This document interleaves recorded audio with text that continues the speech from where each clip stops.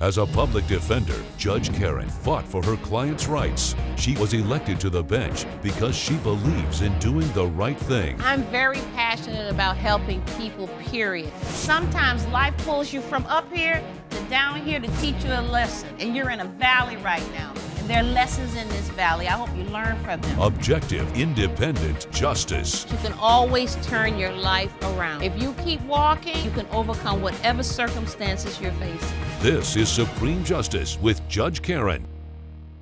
Sharon Rosen is suing Margie Connors in the amount of $5,000. Ms. Rosen claims she agreed to donate some dresses to charity, but says Ms. Connors took additional items and donated them as well. Ms. Connors claims the box wasn't labeled properly, so she shouldn't be held accountable for the lost items. All right, Ms. Rosen, you're suing Ms. Connors for $5,000. It represents the value of some gowns that you owned. Is that right? Right, correct, Your Honor. And how do you know the defendant? Um, our daughters go to school together, but I'm the founder of a charity called Glamour Girls.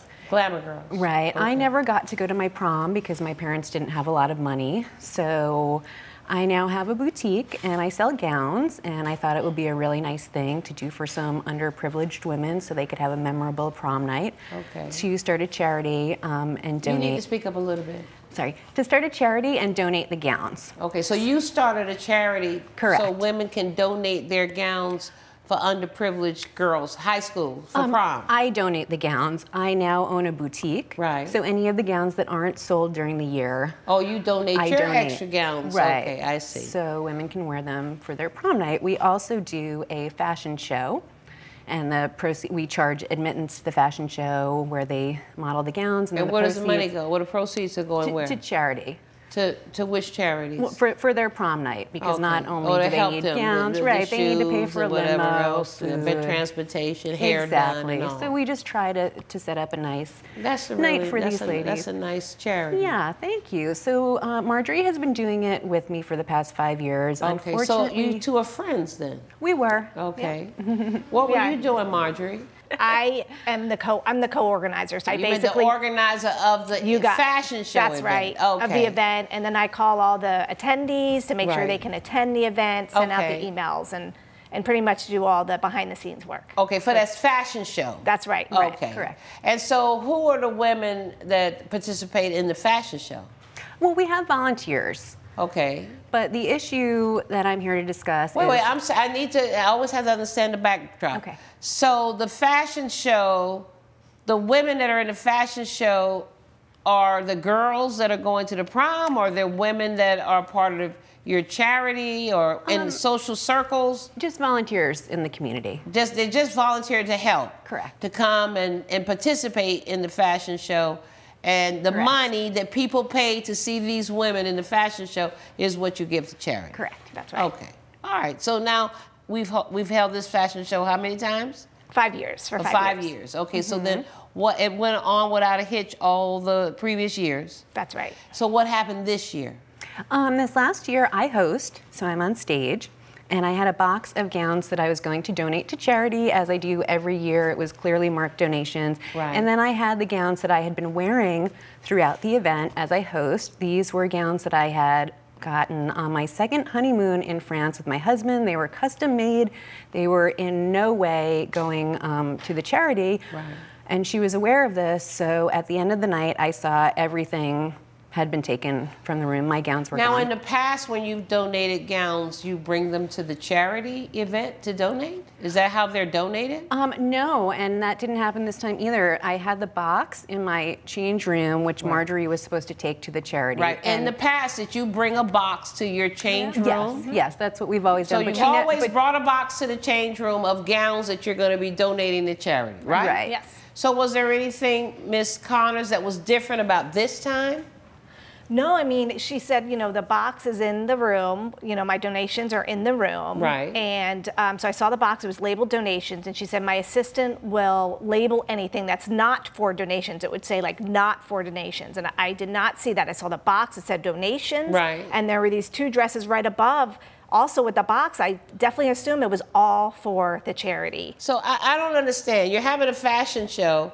I've gotten dressed up and I'm in my gown to go to a fashion show, but I'm also dragging along some gowns that I'm donating to charity well, so that the charity can take them that night? No, no, no. The gowns, she only donates the gowns for the charity. She gives a lot. She gives like 30 gowns so that there's a, enough for women I in the community. See. So what happened? How did you find out that you, she had basically given away your gowns? Well, I didn't even find out it was her until a week later. I had blamed it on my assistant. My assistant and Marjorie were the only ones that had access to this room. So right. when I went and saw that the gowns were gone, I assumed it was my assistant.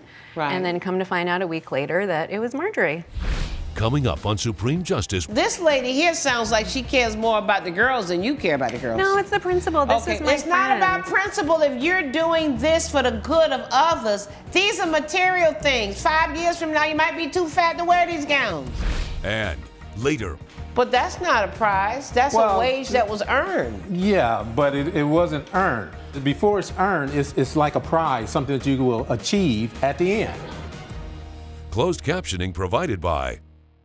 If you'll be in the Los Angeles area and want to bring your case to court, call 1 888 552 6878.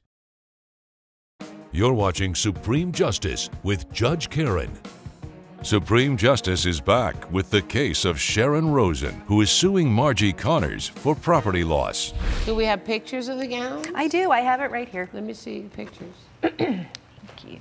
Well, did, did you try to call, which, which organization took the gowns? Where um, did the gowns it's called, go? The organization's called Dress for Girls. Okay. And so they, and they, what we do is we donate it that evening because the next morning we let the girls in the community know the dresses are there for you in the shop. You know, right. please go. It's called Dresses for Girls. And that shows, this is Your Honor, the two dresses hanging up, so they're separate from the box clearly marked. How is it that you happen to have a picture of the dresses in the box? My assistant took a picture because she wanted me to know that she had done the box. I asked her earlier in the day, right. did you put the gowns in the box and right. label it? So she sent me this picture as proof. And as you can see there, the gowns are hanging. Right. So there's no reason to grab them when you're taking the box. Just take the box it and go. It looks all together But to what me. I don't understand is that you told me she's done this every year for the past four or five years yeah. and it was always in a box. It's always Correct. in a box, but right. then she had these extra ones. So I did. I asked her assistant. I said, "Are these going too?" And her assistant said, "Oh yeah." And oh, so her, her, assistant said that these. Yeah, I said, "Are you sure they're not?" Is, no, did, did you not, call her as a witness? Um, I didn't, but you know. My assistant. Well, when you knew you got served with papers on a lawsuit that you had basically given away somebody's gowns, and you knew your defense was, wait a minute, your, her assistant told me, you got a problem. Who me? And your problem is, is that for five years, this woman has always given her donations in a box. Uh, secondly, she had worn these dresses that night at the event as the hostess. Exactly. She had worn these actual dresses. Yeah, I know it was busy and you were flitting around. But she's always done the donations the exact same way. And if your defense was, oh no, her assistant told me to take them, then when you're preparing to go to trial and present a case, you bring witnesses. If my only witness was this person, I would have subpoenaed this person and you would have gone down to the clerk's office and they would have helped you to serve her assistant to come and testify. But you didn't do that. The burden is on the plaintiff to come forward with evidence. She's come forward with the dresses. She says she even wore the dresses that night. Wow. You testified that she always, for five years, has given you these dresses in boxes. And she knows I wouldn't be giving that to charity. The dresses that I donate to charity are more like two, three hundred dollars. I would never be giving. So you give just your cheap dresses to charity, right? well, well I give, my, I give my expensive gowns to charity. The girls were so happy about these dresses, though. We got letters and emails right. about these beautiful gowns. How I did not do anything on purpose. I can imagine. It doesn't matter if you didn't do it on purpose. They were her gowns. What's going to happen now to the event every year now that you are in a court case with the co-presenter of this event? Yeah, the girls suffer now because I, am not doing this charity with her anymore. I can't trust well, her. Well, can't you find somebody else to do it with? I can, but it will just be hard to trust people going forward. Well, because you lost two dresses. Come on. if it was all about the girls, this is material. Yeah. This is material, It's and you're telling me principle. how this this lady here sounds like she cares more about the girls than you care about the girls. No, it's the principle. This okay, is my it's not about principle. If you're doing this for the good of others, these are material things. Five years from now, you might be too fat to wear these gowns. I hope that you go on trying to help. I definitely will. I will. I want I'm going to. to give you my number so you could call me. I got Okay. a Oh my gosh. truckload of Thank dresses. you. A truckload. I got I got a storage unit full oh of my clothes gosh, this is wonderful. that I can give, but you. no, I mean because we can continue the tradition. That's what I then- want you to continue doing this for the girls For- because it's say- not about what I paid, and I paid more than some the money you paid. It's, and this is from Judge Karen. Making- from I Judge mean, Karen. This is so wonderful. Well, it's, it's, I'm happy to see how happy you are because Yes. you still got to pay the five thousand. I just well, why can't we just give it to the charity? I mean, that's really Because what the, the money. five thousand doesn't belong to the charity; it belongs to Miss Rosen. Well, maybe she'll give it back if I have to pay how, her back. how much time do you need to pay her? I can give you time to pay. Yeah, I, I don't make as much money as she does, Right. so I'm gonna need 12 months. Okay, I'm going to give her 12 months to pay because her heart is in the right place. She just wasn't thinking straight. Uh, that's not a defense, though. And one monkey don't stop no show because I got dresses to give to the charity. Thank you. Okay. Well, maybe Yep. you and and so we can can continue to have the fashion show. No, I think I'd rather be with the defendant on this. Uh, she'll, she'll steal from you, Uh, but okay. You can continue having the fashion show and helping some of these girls to go to the prom. Thank okay, you. but you need to start paying that money. I'm gonna give you 30 days to start. Okay. And then you have 12 months to pay the whole thing. All right, I'm ready to rule judgment for the plaintiff in the amount of $5,000. Good luck to you. All rise. Judge Karen has ruled in favor of the plaintiff. The defendant is ordered to pay $5,000. I believe you donated my dress as a charity on purpose, so I deserve the $5,000. Well, I'm happy to pay you the $5,000, and I hope you can donate that to another charity. Coming up, And I don't know, you hire, how much do you weigh? You hire this small person to drag down sofas from upstairs and settees from downstairs and file cabinets and boxes and whatever. Well, closed captioning provided by. You're watching Supreme Justice with Judge Karen. College student Mark Stevens is suing Larry Turner in the amount of $375. Mr. Stevens claims Mr. Turner hired him to help empty out his house, but says the defendant never paid him for the work. Mr. Turner claims he didn't pay Mr. Stevens because the plaintiff didn't finish the job and damaged his house in the process. Mr. Stevens, you're suing Mr. Turner for $375 for a breach of a contract to do some work at his house? Yes, Your Honor. Okay, what, what kind of help were you looking for? I'm selling my house. I still had a lot of stuff, books and shelves and bookshelves. Okay, so what was the agreement, Mrs. Stevens, as to what, what your understanding what you were going to do with the house? Uh, we discussed taking things out of the attic, the basement, uh, furniture, uh, moving it onto the front yard. Okay, so you show up there, you agree that you're going to pay him $375. For each day, Oh, per day. per day. Okay, were you happy with things done on the Oh, first day? you did a fa- fantastic job. Um, After the work, paid him his money. You gave the 375. Told him I'll see him tomorrow. All right, so then what happened? Um, he told me he was going to be out at noon with his uh, realtor, so we left at noon, and he said to finish up while he was gone. So this is kind of where the discrepancy comes in. Uh, I didn't know whether or not to move some of the filing cabinets in the basement out or not because I opened them up and they were stuffed with papers, uh, documents, uh, photocopied uh, Where were you IDs. supposed to move these things to? The front lawn. Okay. But Um, you didn't have a way to call them on the phone? I called him on the phone. He didn't answer. Um, I just didn't feel comfortable taking possibly sensitive documents and leaving them on the front lawn. Coming up, You hire, how much do you weigh? You hire this small person to drag down sofas from upstairs. closed captioning provided by. You're watching Supreme Justice with Judge Karen. Supreme Justice is back with the case of Mark Stevens, who is suing Larry Turner for breach of contract. Okay, so you got back home at 8 Yes. that night, Yes. and what was the problem? There were still some boxes with books and stuff in the attic. Right. Trash and stuff is still on the floor. There's still some chairs there. There's some odds Do in you there. have pictures? Or did you take pictures? Um, I of only it? took pictures of the damage. What there was damage, damage. was there? On the on the banister, it was damaged. On the front door, it was damaged. But my question is, why didn't you call him when you got home and discuss what happened? Did he call you? Uh, no, ma'am. Okay, when was the next time you two had a conversation? the next then? day, the Monday. Okay, so day. what This- happened in that conversation? I uh, called him on Monday and said, "Can I collect the check?" And he said, "Come to my office."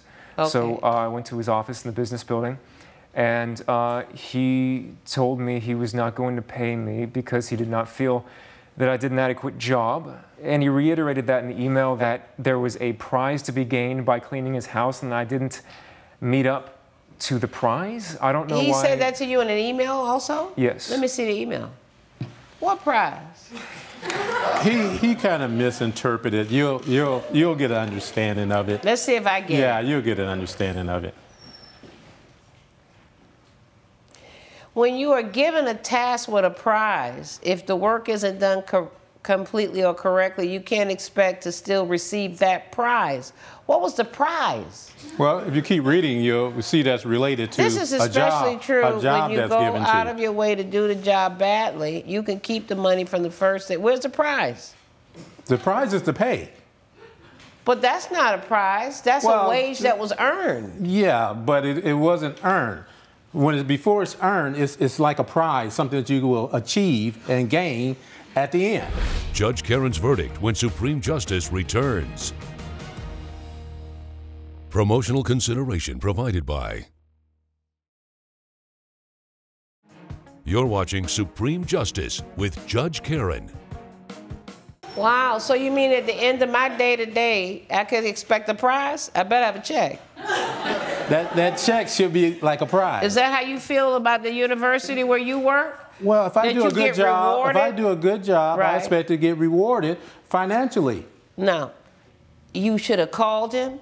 You said he did a beautiful job the first day. You missed a call from him. And then instead of talking to him, you summoned him into your office like the grand poobah and talk about a prize and what you're going to learn. No, and that blah, was blah, the blah, email. That was the we email. could have learned a lesson by having had a conversation and coming back here to complete the job, which it sounds to me like what he's saying. He's done most of the job. You didn't send me any. You didn't bring me any pictures to see what was left there, and I don't know. You hire. How much do you weigh? You hire this small person to drag down sofas from upstairs and settees from downstairs and file cabinets and boxes Yeah, and well, whatever. You well, could have hired a moving company him- for less money than you paid him to move that stuff out I onto your lawn. I'm ready to somebody rule. else with him. I'm ready to rule. okay. Judgment for the plaintiff in the amount of $375. Good luck to you. All rise. Judge Karen has ruled in favor of the plaintiff. The defendant is ordered to pay $375. Professor Turner, I'm sorry it came to this, but I am happy to collect my check today. Well, son, I think we both learned a lesson on this.